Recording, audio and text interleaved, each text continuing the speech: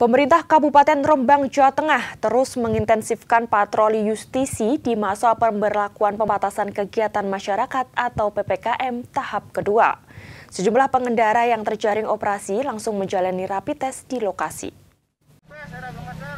Pemberlakuan pembatasan kegiatan masyarakat atau PPKM tahap kedua diperpanjang hingga 8 Februari. Terkait perpanjangan PPKM tersebut, Pemkap Rembang secara gencar melakukan patroli justisi dengan sasaran pengendara maupun pengguna jalan yang masih bandel tidak menggunakan masker.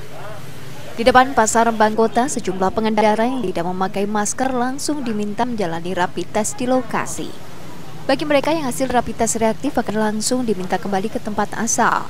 Sementara bagi yang negatif diizinkan melanjutkan perjalanan dan diminta memakai masker. Memakai masker tadi terburu-buru pak. Kita mendapatkan pemakai atau warga yang tidak memakai masker langsung kita tindak dan kita rapid untuk diambil darahnya sampelnya untuk dilaksanakan rapid. Kalau memang hasilnya negatif dia diperintahkan untuk jalan lagi. Kalau positif dia akan dikembalikan.